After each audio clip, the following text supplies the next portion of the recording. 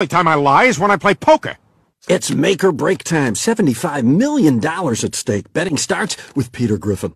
Oh, he's not looking at much of anything right now. And those mirrored sunglasses, not doing him any favors. All in.